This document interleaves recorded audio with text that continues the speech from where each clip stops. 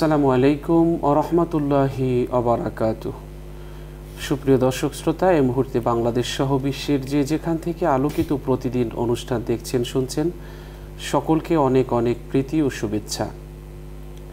আমরা পরম করুণায় আল্লাহর নামে শুরু করছি আজকের অনুষ্ঠান। দর্শক, আজ আমরা একজন বিশিষ্ট বিশিষ্ট ইসলামী চিন্তাবিদকে আমন্ত্রণ জানিয়েছি এবং একটি চমৎকার বিষয়ে আমরা আলোচনার জন্য নির্ধারণ করেছি। চলুন অতিথিকে আপনাদের সাথে পরিচয় করিয়ে দিচ্ছি। আজ আমাদের সাথে আছেন দারুণ নাজাদ সিদ্দিকিয়া কামিল মাদ্রাসার প্রধান মুফতি বিশিষ্ট গণমাধ্যম ব্যক্তিত্ব মুফতি ওসমান গনি সালিহি। আসসালামু আলাইকুম ওরহমতুল্লাহি ওবরাকাত ওয়ালাইকুম আসসালাম রহমতুল্লাহি ওবরাকাত মোহতারাম কেমন আছেন আপনি? আলহামদুলিল্লাহ আপনি কেমন আছেন? আলহামদুলিল্লাহ ভালো আছি। দর্শক আজ আমরা যে বিষয়টি নিয়ে কথা বলব সেটি হচ্ছে অন্যের ব্যক্তিগত তথ্য প্রকাশ না করা। একটি গুরুত্বপূর্ণ বিষয়। বর্তমান সময়ে আমরা দেখছি যে বহু সামাজিক এবং রাজনৈতিক সংকট তৈরির কারণ হলো মানুষের ব্যক্তিগত তথ্য প্রকাশ করা। মানুষের ব্যক্তিগত তথ্য প্রকাশের বিধিনিষেধ আরোপ করেছেন ইসলাম। সাধারণভাবে ইসলাম নিজের বা অন্যের ব্যক্তিগত তথ্য গোপন করার নির্দেশ দেয়। রাসূল সাল্লাহ আলহিহাসাল্লাম বলেছেন সুনানি আবু দাউদ শরীফের একটি হাদিস নবীজি বলেছেন যে সব বৈঠক আমানত স্বরূপ। তো আমরা কোরআনুল কারিমের এবং রাসুস কোরআনুল কারিমে এবং রাসুল সাল্লাহ সাল্লামের হাদিসে আমরা এই তথ্য গোপনের ব্যাপারে অনেক দিক নির্দেশনামূলক আলোচনা আমরা পাই। চলুন, অন্যের ব্যক্তিগত তথ্য প্রকাশ না করা বিষয়ে আমরা আলোচনা শুনছি আমাদের অতিথির কাছ থেকে। জি, মহতারাম। ইন আলহামদুলিল্লাহ ওয়াহদা ওসলাত ওসালাম আলা মোহাম্মদিন মুস্তফা ওয়ালা আলিহি ও সাহাবিহিল মজুতবা আম্মাবাদ ধন্যবাদ বিজ্ঞ সঞ্চালক, আপনি খুব চমৎকার করে বলছিলেন যে এই পৃথিবীতে মানুষের যে তথ্যগুলো আছে, এটি যে গোপন তথ্য, এটি গোপন রাখা, এটাই হচ্ছে নিয়ম।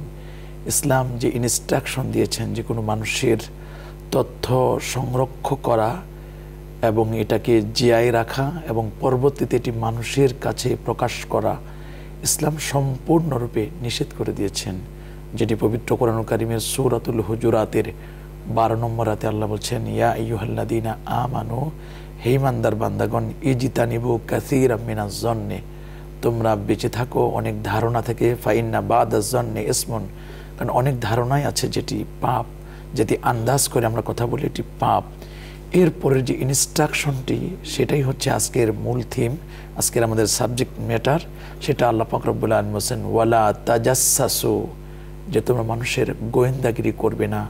মানুষের তথ্য, গোপনীয় তথ্য, ব্যক্তিগত তথ্য, এই তথ্যগুলো তোমরা অনুসন্ধান করবার জন্য তার পিসপা হবে না। তার পিছনে তোমরা ডিরেক্টরশিপ এটি তোমরা করবে না। তো এই যে আল্লাহর নির্দেশ, যে তোমরা মানুষের তথ্য, ব্যক্তিগত তথ্য এগুলো তোমরা গোপন রাখবে, এগুলোকে তোমরা হাটে হারে ভাঙিয়ে দিবে না, প্রকাশ করবে না। কিন্তু আমরা কি দেখতে পাচ্ছি? আমরা আজকে দেখতে পাচ্ছি আমাদের যে ফিলহাল বর্তমান অবস্থা। আমরা যদি কারও কোনো গোপন তথ্য শুধুমাত্র লেশ পাই, তাহলে এটাকে তিলকে আমরা তাল করে দিই? এবং এটাকে এমনভাবে আমরা ফলাও করি হেডলাইন করি ব্রেকিং নিউজ দিয়ে অথবা সামাজিক যোগাযোগ মাধ্যম সহ বিভিন্নভাবে এমনভাবে আমরা পাবলিশ করি? ওই মানুষটিকে হেনস্থা করবার জন্য তার এই গোপন তথ্যটি যে আমরা গোপন রাখছি না, অথচ গোপন তথ্যটি আমরা মানুষের কাছে প্রকাশ করবার কারণে তার উপর কিন্তু এক ধরনের জুলুম হচ্ছে, সে কিন্তু মাজলুম। এই জন্য আল্লাহ তালা বলে দিয়েছেন, তার রসুলকে, রসুল আপনি বলে দিন, ওয়াত্তাকে দাওয়াত আল মাজলুম। মাজলুমের দোয়া সে যদি আল্লাহর কাছে বলে, তাহলে কিন্তু আল্লাহ তার দোয়াটা কিন্তু কবুল করে নেয়। এই জন্য আমরা কারও গোপন তথ্য এটি আমরা প্রকাশ করব না। দেখুন একটি মানুষের কথা, এটি কিন্তু তার আমানত। হাদিসের মধ্যে যেটি আসছে, রসুল বলছেন, লা ইমান আলিমান লা আমানত আলা ওই ব্যক্তি প্রকৃত ইমানদার হতে পারবে না, যার আমানতদারিতা নেই। কথার আমানত আছে, কাজের আমানত আছে, প্রত্যেকটার ক্ষেত্রে কিন্তু আমানত আছে। অন্যের বলা, কথার গোপনীয়তা রক্ষা করা, এটা কিন্তু খুবই জরুরি যে কথার আমানত। এই জন্য সোনান তিরমিজির একটি হাদিস দু হাজার চারশো বারো নম্বর আল্লাহ রসুল যে হাদ্দা সার রাজুলু বিল হাদিস। তোমাদের কেউ যখন কোনো কথা বলে, সোম্মা এলতাফাতা, এরপরে ডানে তাকায়, বামে তাকায়, কেউ শুনলো কিনা তার কথাটা, রসুল বসেন ফাহিয়া আমানাতুন এটা আমানত স্বরূপ। কথা বলার সময় কেউ যদি কারও দিকে তাকায়, তাহলে বুঝতে হবে এই কথাটা কি? আমানত। আল্লাহ নবী সহি বুখারির আরেকটি হাদিসে এবং সহি মুসলিমের হাদিসে বলছেন যে, অন্যের গোপনীয়তা রক্ষা করা, এটা একজন মমিনের জন্য যতগুলো গুণাবলী রয়েছে, তার মধ্যে একটি অন্যতম গুণাবলী। অন্যের গোপনীয় বিষয় প্রকাশ না করা, এটি মুসলমানের জন্য অবশ্য করণীয়। আল্লাহ নবী ইন্ডিকেট করে বলেছেন, ইয়া মা আশারা মান কাদ আসলামা বিলেসানিহি ওয়ালাম ইউফদিল ইমান ইলা কালবিহি লা তুজুল মুসলিমিন। হে মুসলমানগণ, তোমরা আরেক মুসলমানকে কষ্ট দিবে না। ওয়ালা তো তোয়াই রুহুম তাকে লজ্জা দিবে না, তাকে ছোট্ট করবে না। ওয়ালা তাত্তাবিউ আওরা আহম ওয়ালা তাত্তাবিউ আওরাতিহিম, তাদের যে আওরাত, গোপনীয় বিষয়গুলো এগুলো তোমরা কখনো তার পিছনে অন্বেষণ করবার জন্য তার পিছনে ঘুরবে না। ফাইন্নাহু মান তাতাব্বা আওরাত আকিহিল মুসলিম। যে ব্যক্তি তার মুসলমান ভাইয়ের গোপন তথ্য প্রকাশ করার জন্য চেষ্টা করে, তাতাব্বা আল্লাহ আওরাতাহু। আল্লাহ তালা তার যত গোপন বিষয় আছে সেগুলোকে আল্লাহ তালা প্রকাশ করে দেবেন। ওমান তাতাব্বা আল্লাহ আওরাতাহু। ইয়াফদাহু ওয়ালাউফি জাউফি রাহলিহি। বলা হচ্ছে সে যদি উটের হাওদার ভিতরেও থাকে তবুও আল্লাহ তালা তার গোপন তথ্যগুলোকে কিন্তু প্রকাশ করে দেবেন। আরেকটি হাদিস যেটি সুনানে আবি দাউদের মধ্যে আসে, আল্লাহ রসুল বলছেন যে, কোনো মুসলমান ভাইয়ের দোষ গোপন রাখলে আল্লাহ তালা কেয়ামতের দিন তার দোষ ত্রুটিকে গোপন রাখবেন। আল্লাহ রসুল বলছেন, ওমান সাতারা মুসলিমান সাতার আল্লাহ ইয়াউমাল কেয়ামা যে ব্যক্তি কোনো মুসলমানের দোষ ত্রুটি গোপন রাখে, আল্লাহ তালা কেয়ামতের দিন তার দোষ ত্রুটিকে ঢেকে রাখবেন। আরেকটি হাদিসে বলছেন, লা ইয়াস্তরুল্লাহ আলা আবদিন ফি দুনিয়া ইল্লা সাতারাহুল্লাহ ইয়াউমাল কেয়ামা। যে ব্যক্তি দুনিয়াতে একজন বান্দা অথবা কোনো বান্দি, আরেকজন বান্দা বান্দির দোষ ত্রুটিকে গোপন রাখবে, আল্লাহ তালা কেয়ামতের দিন তার দোষ ত্রুটিকে গোপন রাখবেন। নবীজি আরেকটি হাদিসে বলছেন, যেটি মোসনাদে আহমদে আসে, মানেস্তামা ইলা হাদিসিন কৌমিন ওয়াহুম লাহু কারিহুন সোব্বাফি উজুনিহি আল অনুক যে ব্যক্তি কোনো কমের গোপন কথা শ্রবণ করবে, যা তারা অপছন্দ করে তার কানে সীসা ঢেলে দেওয়া হবে। তাহলে আমরা এই যে দেখতে পেলাম আল্লাহ নবীর কতগুলো ইনস্ট্রাকশন আপনি শুনলে অবাক হবেন, ইসলামের যে দ্বিতীয় খলিফা আসাদ্দ হুমফি আমরিল্লাহ ওমর রাদি আল্লাহ সে অমর রাদি আল্লাহ বায়োগ্রাফি সেখানে হাদিসের মধ্যে এসে যে আল্লাহ নবী একদিন গভীর রজনীতে একটা গানের আওয়াজ শুনতে পেলেন। গানের আওয়াজটা যখন হজরত ওমর শুনতে পেলেন, তখন তারই সহচর হজরতে আব্দুর রহমান আউফ রদি আল্লাহ সবচেয়ে উঁচু সাহাবি ছিলেন। তাকে বললেন, চলো তো কার বাসা থেকে গানের আওয়াজ আসতেছে? আব্দুর রহমান আউফ বললেন, হুজুর, চলেন, আপনার সাথে যাব। যেতে যেতে যেতে যেতে দেখলেন যে এই বাসা থেকে গানের আওয়াজ আসতেছে, খুব সুন্দর কণ্ঠের আওয়াজ আসতেছে। তখন হজরত ওমর রদি আল্লাহ তালা আনহু, তিনি দেওয়াল টপকিয়ে তার বাসার ভিতরে চলে গেলেন। আব্দুর রহমান আউফ বলছিলেন, হুজুর, আপনি যায়েন না, এটা ঠিক হবে না আমাদের জন্য। কারণ কোরআনে তো আল্লাহ নিষেধ করেছেন। তারপর হজরত ওমর বললেন যে, না আমি ওমর বেঁচে থাকতে কেউ কোনো অন্যায় করবে, এটি আমি সহ্য করতে পারব না। তিনি দেওয়াল টপকি গেলেন, গিয়ে দেখতেছেন ওই লোকটি শরাব পান করছে আর গান গাচ্ছে, পাশে আরেকজন নারী তার সাথে অপেক্ষা করছে। এটা দেখার পরে হজরত মরদি আল্লাহ বলেন, যে এই অপরাধী তোমাকে, তুমি মনে করছ যে তুমি গোপনভাবে অপরাধ করবে আর তোমাকে আমি ছেড়ে দিব? এটা কখনো হতে পারে না। তখন ওই লোকটি হজরত অমরকে বলেন অমর সরি আমি তো অন্যায় করেছি, এটা ঠিক আছে, কিন্তু আমি অন্যায় করেছি একটি, আর আপনি এক এক করে তিন তিনটা অন্যায় করলেন। হজরত মরদি আল্লাহ অবাক হয়ে গেলেন। কি বলছে? আমি অন্যায় করেছি তিনটি, আর এই লোকটি অন্যায় করেছে মাত্র একটি। বলে কি? তুমি এত বড় স্পর্ধা, তুমি জানো না কার সাথে কথা বলছো? সব জানি। আপনি বলেন, আপনি যেখানে ঢুকছেন, আপনি কি কোরআনের আইন অমান্য করেন নাই? বলে, তাই, বলো। বলে কোরআনে আল্লাহ বলছেন না যে ওলা তাজাসু গোয়েন্দাগিরি করবে না। কেউ যদি ঘরের ভিতরে আমি অন্যায় করছি, আপনাকে তো গোয়েন্দাগিরি করার কথা আল্লাহ তালা কোরআনে নিষেধ করেছেন। এই হলো আপনার প্রথম অন্যায়। বলে দ্বিতীয় অন্যায়, বলে আপনি যেখানে আসছেন, আপনি কি সালাম দিছেন সালাম তো দেন নাই আপনি। অপরাধী ধরতে আসছেন, তা আপনি সালাম দিবেন না। বলে হ্যাঁ এটা আমার অন্যায় হয়েছে। বলে, আর কি অন্যায় করেছে? তৃতীয় অন্যায়টি? বলে, আপনি অনুমতি নেন নাই। অনুমতি না নিয়ে আপনি কেন আসছেন আমার এখানে? তখন হজরত মরদি আল্লাহ তাহন তিনি বলেন সত্যি আমি তিনটি অন্যায় করেছি। বলে, তোমার অন্যায়টা ঠিক আছে। তখন হজরত মরদি আল্লাহ বলেন যে, তুমি আমাকে ওয়াদা দাও যে, তুমি আর এর ধরনের অন্যায় কাজ করবে না। তোমার ব্যাপারে আমি কোনো অ্যাকশনে যাব না। অবাক করার মতো হজরত ওমর রদি আল্লাহ তালা আনহুকে শাসালেন। সেখানে বলে দেওয়া হলো যে, অপরের অন্যায় দেখছি আমি, সেটাকে, সেটা ভিন্ন কথা। মানরা আমিন কু মন কারান ফালিউগাইয়ের বিয়াদি। কিন্তু আমি আরেকজনের দোষ চর্চা করতে যাব। তার গোয়েন্দাগিরি করব, এটা কিন্তু ইসলাম সাপোর্ট করে না। যেটি সহি বুখারির একটি হাদিস আল্লাহ নবী বসা। হঠাৎ করে নবীজির এগারো জন স্ত্রী সবাই কিন্তু অপেক্ষমান ছিল মুমতাজের ছিল, নবীর সামনে বসা ছিলেন। আল্লাহ নবী দেখলেন যে তার মেয়ে হজরতে ফাতেমাতু জাহার দি আল্লাহ তালা আনহা আসছেন। তিনি এত সুন্দর করে হেঁটে হেঁটে আসছেন। সাহাবিরা বলল যে, নবীজি যেমন হাঁটতেন, ঠিক সেম হাঁটাটা হজরতে ফাতিমা রাদি আল্লাহ তালা আনহা হাঁটতেন। এক পর্যায়ে আসলেন, নবীজি তাকে দেখে দাঁড়িয়ে গেলেন। তার জন্য একটা মজলিস দিলেন, বসার জায়গা। নবীজি পাশে বসালেন। বসার পরেই ফাতেমাকে ডেকে কানে কানে কি জন্য বললেন। তখন হজরতে ফাতিমা তো জাহারাদি আল্লাহ তালা আনহা, তিনি হাওমা করে কেঁদে দিলেন। সহধর্মিনী নবীজির, এরাও কিন্তু চোখের পানি রাখতে পারলেন না। কিছুক্ষণ পরে নবীজি আরেকটি যেন মেসেজ কানে কানে বললেন। বলার পরে একটু হাস্যোজ্জ্বল চেহারা হাসলেন ফাতেমা রাদি আল্লাহ তালা আনহা। যখন সব শেষ হয়ে গেল, তখন হজরতে আম্মা জানা ইসা সিদ্দিকা রাদি আল্লাহ তালা আনহা বলেন, ফাতিমা, তোমার কাছে একটু জানতে চাই। আল্লাহ নবী কানে কানে কি বলল? বলে, এটি গোপন বিষয়। এ কানে কানে কথা, এটি আরেকজনের কাছে এটা বলা যায় না। এটি গোপন বিষয়। নবীজির ইন্তেকাল হলো। ইন্তেকালের পরে আম্মা জান আয়সার আবার সে কথা মনে পড়েছে। ফাতেমা, আমি কি একটু জানতে পারি? যে তুমি ওই দিন আল্লাহ নবী তোমাকে কি বলেছিল? বলে হ্যাঁ নবী এখন নাই। এখন আমি এই গোপন কথাটা এখন বলতে পারি, নবী কি বলেছিলেন? বলে, সেটা কি? বলে, সে কথা বলতে আমার চোখের পানি চলে আসবে।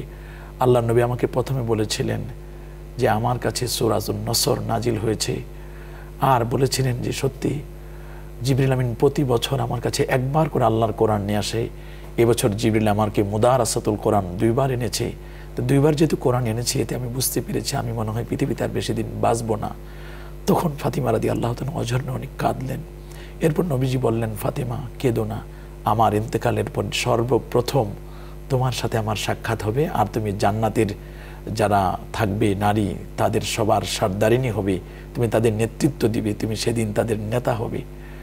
তখন আমি একটু হেসেছিলাম। সেই দিনের গোপন কথাটি ছিল এটা। আমাজান আয়সার মতো একজন রসুল্লার সহধর্মিনী, তিনি গোপন কথা সেদিন শুনতে চেয়েছিলেন, কিন্তু রসুল্লার কন্যা ফাতিমা রাজি আল্লাহ তালা আনহা গোপন বিষয়টি কিন্তু গোপন রেখে দিয়েছিলেন।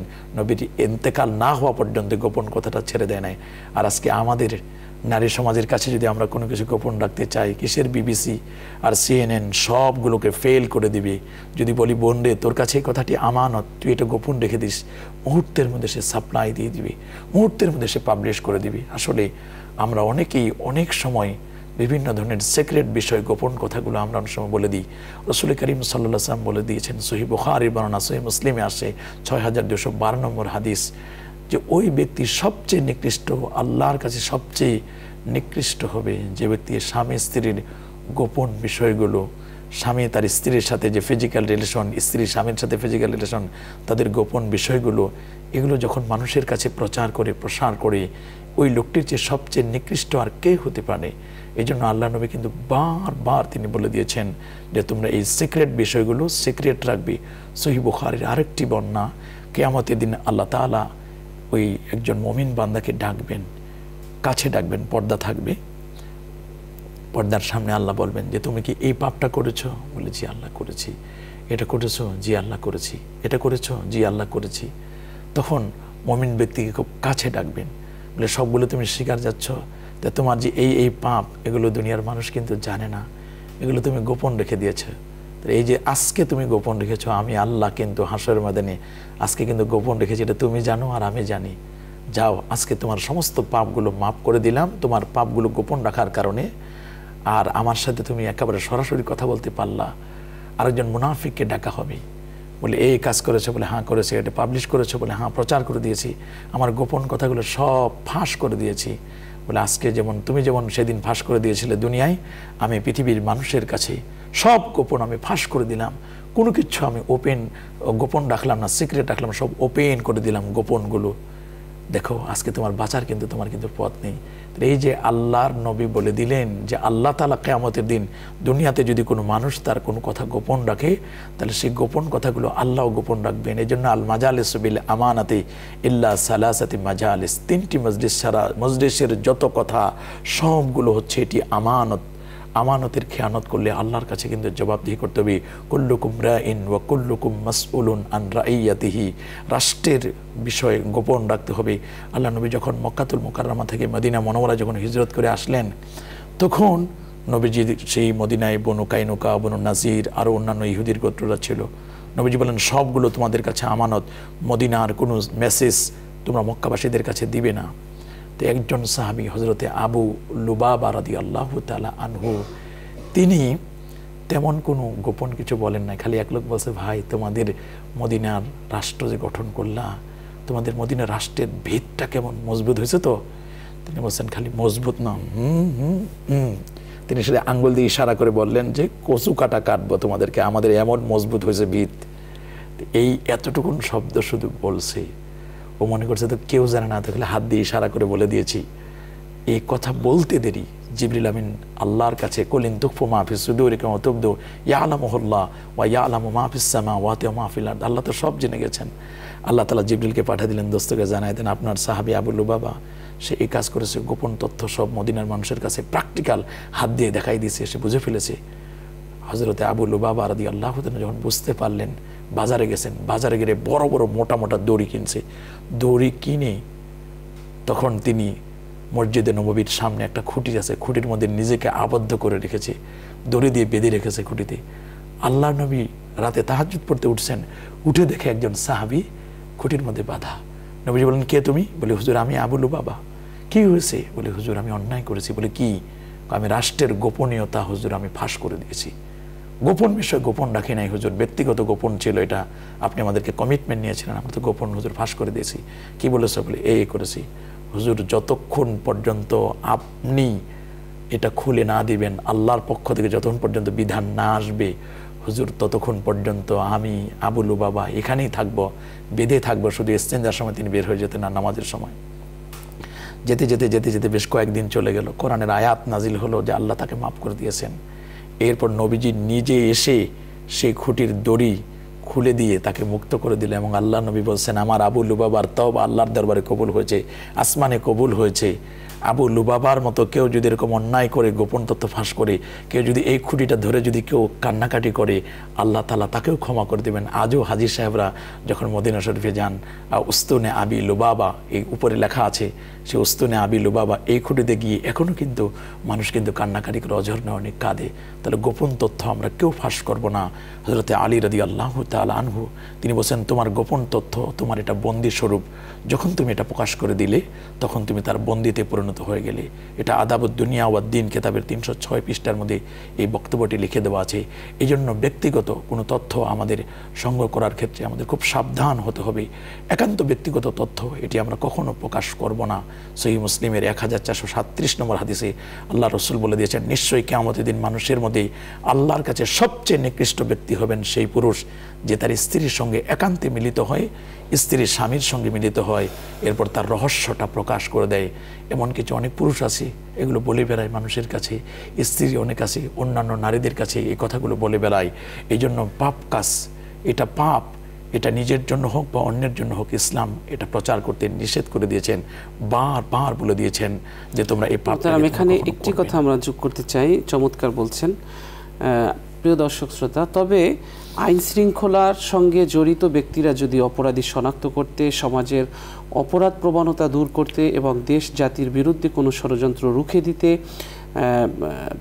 যদি কারও ব্যক্তিগত তথ্য সংগ্রহ করেন, তবে প্রয়োজন মাফিক তার অনুমতি আছে। পবিত্র কোরআনে ইরশাদ করা হয়েছে, হে মোমিনরা, তোমরা বেশিরভাগ অনুমান থেকে দূরে থাকো, কেননা অনুমান কোনো কোনো ক্ষেত্রে পাপ তোমরা একে অপরের গোপনীয় বিষয় সন্ধান করো না এবং একে অপরের পিছনে নিন্দা করো না।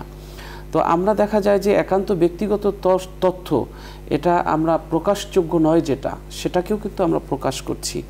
আমরা অনেক ক্ষেত্রে এই কাজটি করছি যে মানুষের দাম্পত্য জীবন, একান্ত ব্যক্তিগত, এটাও মোহতারাম বলছে যে সেটাও আমরা প্রকাশ করছি। আরেকটি যেটি আমরা করছি সেটি হলো রাসুল সাল্লাহ সাল্লাম বলেছেন, কেয়ামতের দিন মানুষের কাছে সর্বাধিক নিকৃষ্ট ব্যক্তি সে পুরুষ, যে তার স্ত্রীর সঙ্গে ব্যক্তিগত কথাগুলো অন্যকে শেয়ার করে।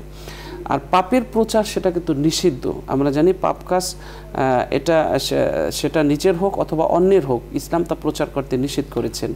যেমন নিজের পাপ প্রকাশের ব্যাপারে আল্লাহ ব্যাপারে আবদুল্লাহ ইবনে ওমর বলেন আমি রাসুল সাল্লাহ সাল্লামকে বলতে শুনেছি আল্লাহ তালা মমিনের নিকটবর্তী হবেন অতপর তার পর্দা ফেলে তাকে ঢেকে নেবেন এবং বলবেন মনে পড়ে অমুক পাপ করেছ তমুক পাপ করেছ ইত্যাদি ইত্যাদি।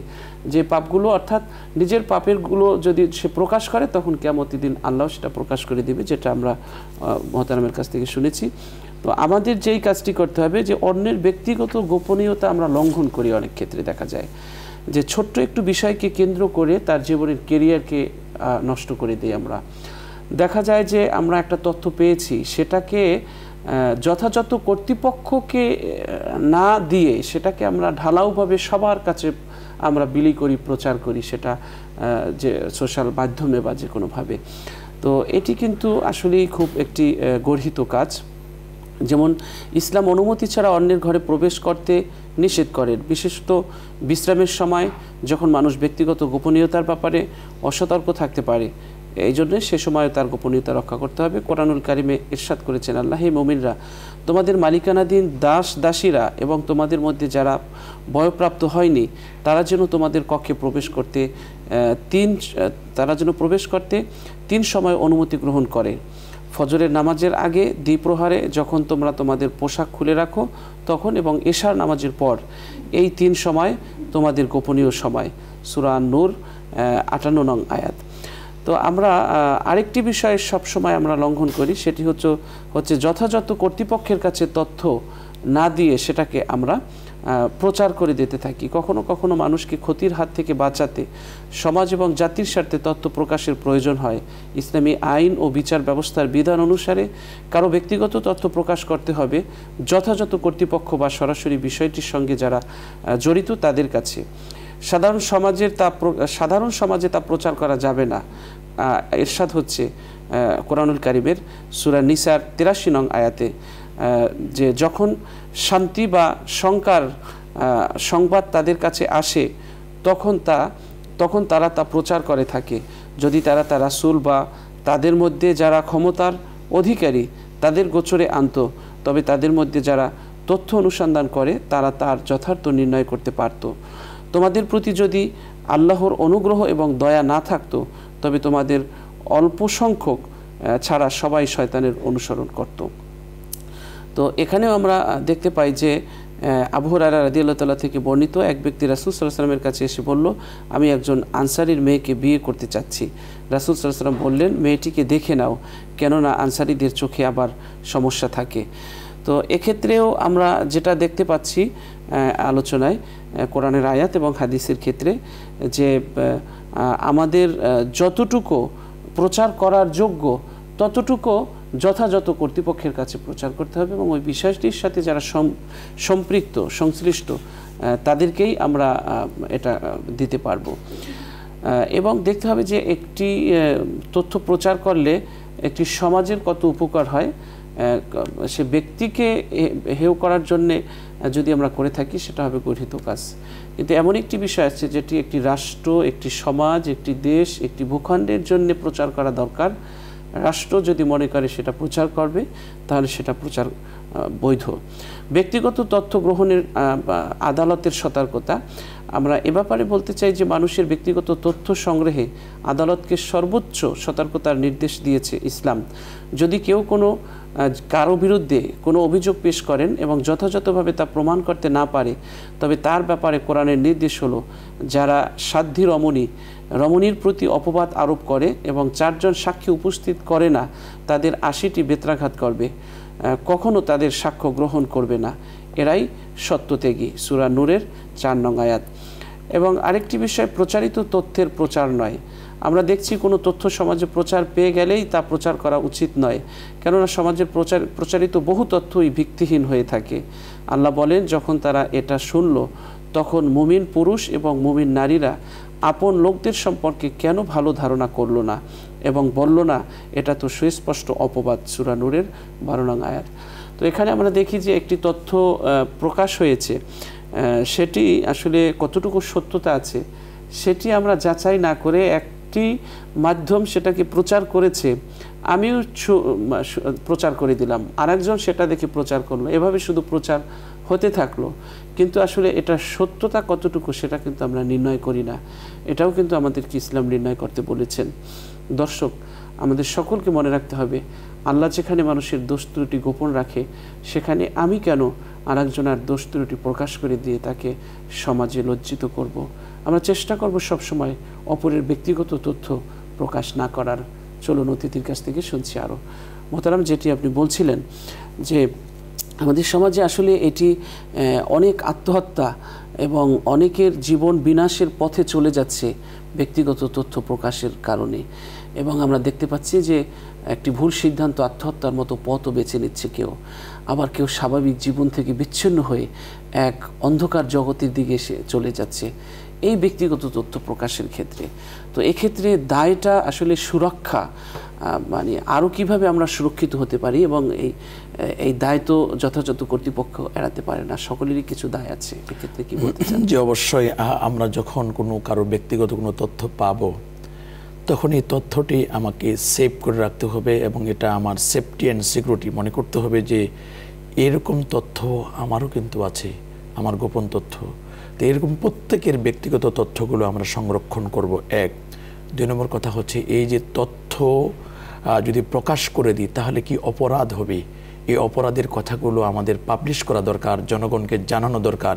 এক্ষেত্রে মসজিদের ইমাম এবং খতিব এবং টেলিভিশন চ্যানেলগুলোতে যদি নিউজ করি যেটা এটি আসলে রাষ্ট্রীয়ভাবেও যেমন রাষ্ট্রের যদি কোনো ক্ষতি করে, সেটা ভিন্ন জিনিস কিন্তু রাষ্ট্রের ক্ষতি করে না। এমন কোনো তথ্য যদি আমি প্রচার করি রাষ্ট্রযন্ত্র ব্যাহত হতে পারে। এ বিষয়গুলো রাষ্ট্রের টেলিভিশন যন্ত্রগুলো যদি এগুলো প্রচার করে এবং এর যে ক্ষতির দিকগুলো তুলে ধরে, তাহলে কিন্তু মানুষ সচেতন হবে। তার মানুষকে সচেতন করতে হবে। আর কোরআনের যে ইনস্ট্রাকশন সেটা আল্লাহ বলছেন ইয়াইল্লা দিনা আমানু ইন জা আকুম ফাসকুম বি নাবা ইন ফেতাবাইয়ানু যে তোমাদের কাছে কেউ যদি কোনো তথ্য নিয়ে আসে, তথ্যটা you have to justify the message মেসেজটাকে আমাকে জাস্টিফাই করতে হবে। জাস্টিফাই না করে, বিচার বিশ্লেষণ না করে তথ্যটা আমি শেয়ার করে দেবো না। ফেসবুকে বা যোগাযোগ মাধ্যমে টুইটারে হোয়াটসঅ্যাপে ইমোতে যে কোনো একটা তথ্য পেলাম আর তথ্যটির সাথে সাথে আমি শেয়ার করে দিলাম, এমনটি যেন না হয়। কারণ সহি মুসলিমের মধ্যে আল্লাহ নবী একটি হাদিস বলছেন, সতর্ক করেছে বলছেন, কাফা বিল মার ই ক্যাদিবেন যে একজন ব্যক্তির জন্য মিথ্যাবাদী হওয়া এতটুকু নয় যথেষ্ট যে আইও হাত দেশা সে বর্ণনা করবে, বিকুল্লি মা সামে আ যা সে শুনবি, শোনার সাথে সাথে সেটিকে বর্ণনা করে দিবি। এটা কিন্তু ঠিক নয়, কারণ এই বক্তব্যটি অবশ্যই তাকে জাস্টিফাই করতে হবে। জাস্টিফাই না করে সেজন্য পাবলিশ না করে। এছাড়াও সহি বখারির ছয় হাজার দুশো একচল্লিশ নম্বর একটি হাদিস যে সাহাল ইবনে সাদ আরাদি আল্লাহ বলেন যে, একবার এক লোক আল্লাহর হাবিবের রুম তার কক্ষে আসলেন, এসে ভিতরে ঢুকেন নাই, দূর থেকে উকি দিলেন। এই যে অনেক সময় আমরা উকি দিই, তখন আল্লাহর হাবিবের কাছে একটা মিদ্রা একটা চিরুনি বিশেষ আমরা যে কান অনেক সময় চুলকাই, এরকম একটা জিনিস ছিল, যেটা দিয়ে আল্লাহ নবী কান অনেক সময় একটু কানে আরাম বোধ করার জন্য কানে এগুলো ঢুকিয়ে দিয়ে অনেক সময় তিনি চুলকাতেন। তো স্বাভাবিকভাবে তখন নবীজি বলছেন যে, যদি আমি জানতাম যে তুমি উকি দিচ্ছ তাহলে এটা দিয়ে আমি তোকে তোমার চোখের উপরাই নিতাম। মানে এর দ্বারা নবীজি তাকে নিন্দা করলেন যে আমার এই চিরনি বা মিদ্রা যেটা ছিল, এই মিদ্রা দিয়ে আমি তোমার চোখগুলো উপরে নিতাম। এটা যদিও একটু শুনতে খারাপ দেখায় তার মানে আল্লাহ নবী এখানে মূলত তাকে যে এই গোয়েন্দাগিরি করা আরেকজনের গোপনীয়তা প্রকাশ যেন না হয় গোপনীয়তা দেখার জন্য অনেকে চেষ্টা করি। গ্রামগঞ্জে কিন্তু এমন হয় কোথাও যদি গোপনীয় কোনো বিষয় হয় মানুষ জানালা দিয়ে দরজা দিয়ে ফাঁক ফোকর দিয়ে কিন্তু ছিদ্র দিয়ে মানুষ কিন্তু দেখবার জন্য চেষ্টা করে তার গোপনীয়তা কীভাবে ফাঁস করে দেওয়া যায়। তো এই ধরনের যে গোপনীয়তা যারা পিছনে গোয়েন্দাগিরি করে এটা কিন্তু রসুল আকরাম সাল্লাম এবং গোপন তথ্য দেখা যায় যে কোনো একটি কাজ বা কোনো একটি মুহূর্তকে সেটিকে ধারণ করে রাখা মোবাইলে এবং সেটাকে পাবলিশ করা। না, এটি আমাদের সমাজে কিন্তু অহরহ হচ্ছে। আপনি জানেন যে আজকে আমাদের যে পর্যটন কেন্দ্রগুলো, মনে করেন পর্যটন কেন্দ্রগুলো একজন মানুষ খুব নিরিবিলি, নিকুঞ্জ পরিবেশে সেফ জোনে, ঢাকার এই আবহাওয়া থেকে তার একটি নতুন আবহাওয়া পাওয়ার জন্য অনেক সময় অনেকে সুন্দরবনে যায়, অনেকে বান্দরবনে যায়, অনেকে কক্সেস বাজারে যায়, রাঙ্গামাটি যায়। তো এই যে পর্যটন কেন্দ্রগুলোতে যায় পর্যটন কেন্দ্রগুলো যদি তাদের সেফটি অ্যান্ড সিকিউরিটি সেখানে একটা মানুষের, সেখানে তার গোসলের প্রয়োজন হতে পারে, তার সেখানে স্বামী স্ত্রী ফিজিক্যাল রিলেশন থাকতে পারে, তার তার সম্পর্ক থাকতে পারে, তার আরও কত ধরনের সিক্রেটি বিষয় থাকতে পারে।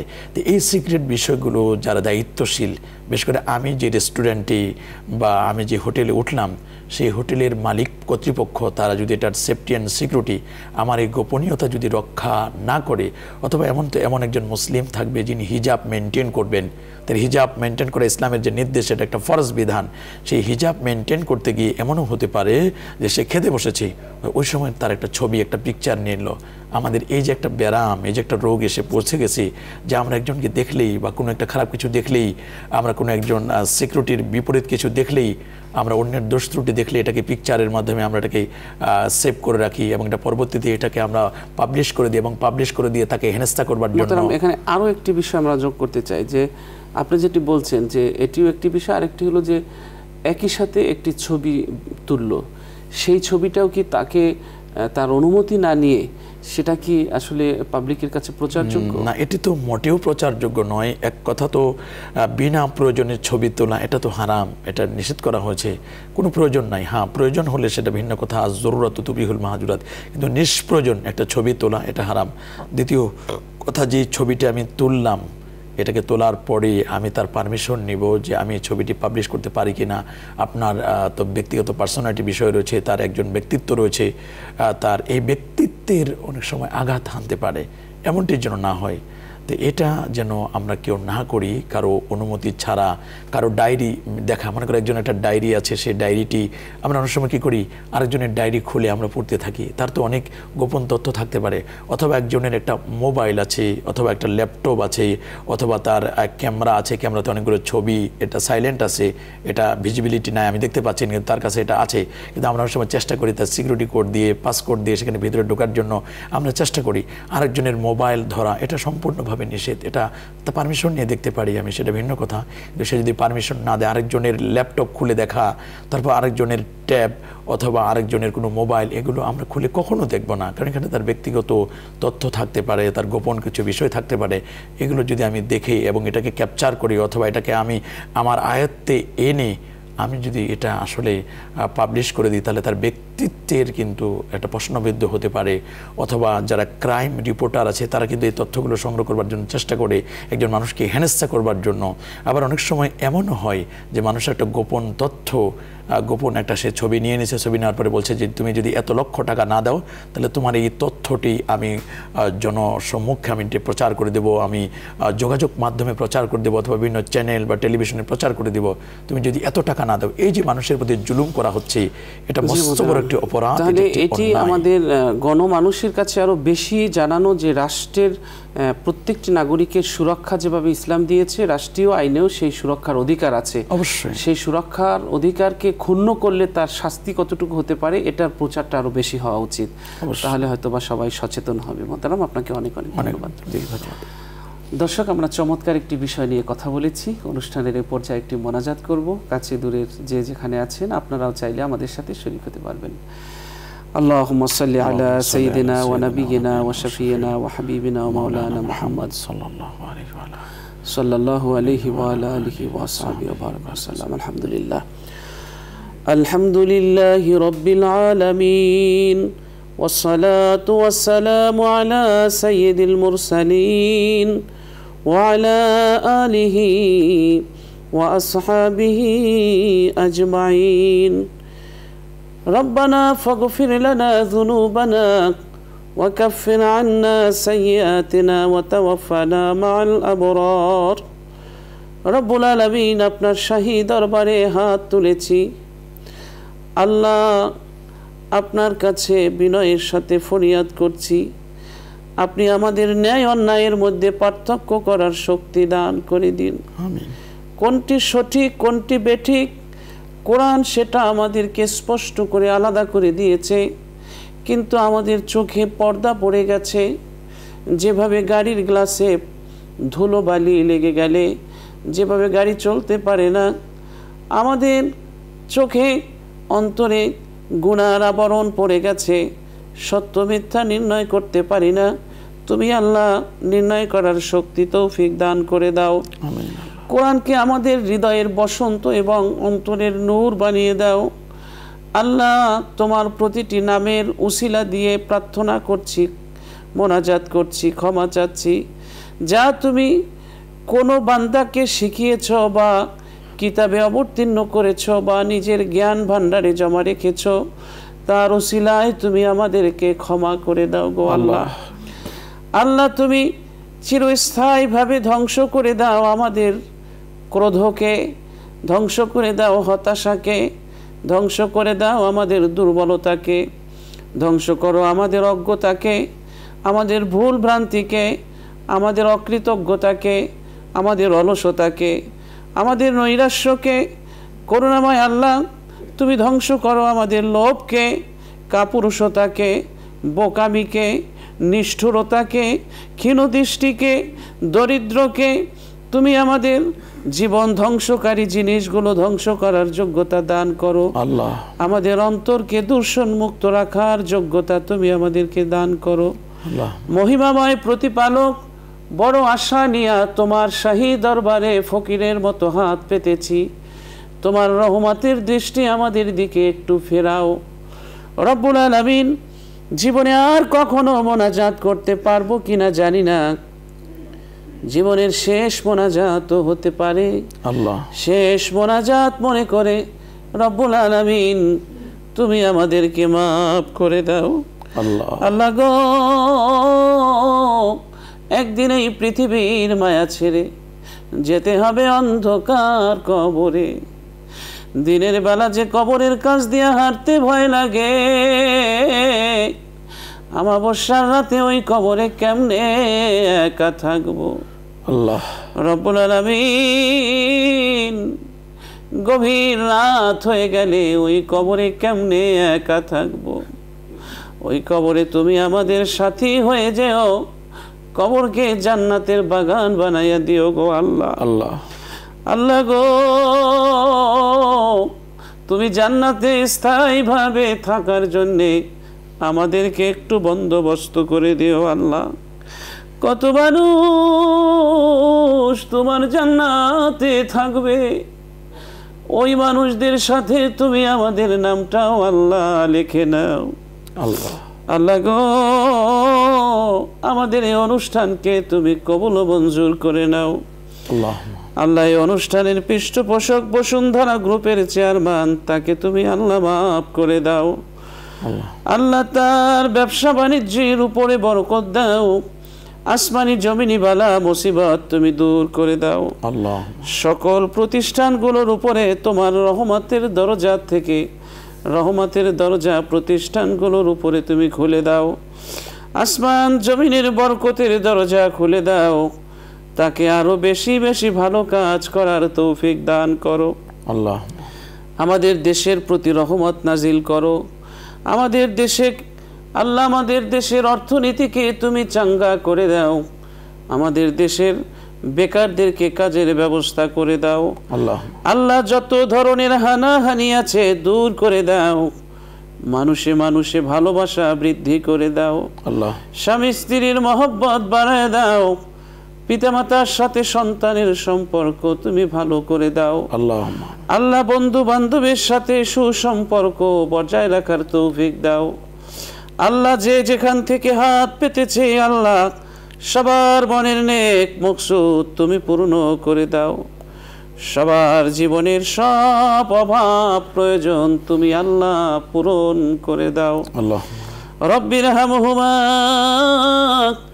كما ربياني صغيرا سبحان ربك رب العزة عما يصفون وسلام على المرسلين والحمد لله رب العالمين